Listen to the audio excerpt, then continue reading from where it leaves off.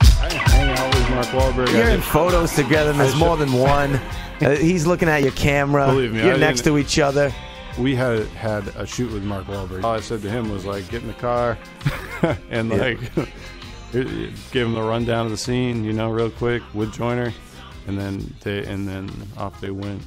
So, That in that in that period of time there, how do you feel about Mark Wahlberg as a human? professional, just a pro, just a, Yeah. just a straight business pro. He showed up on time and did his job and did it really good, and then he then he left.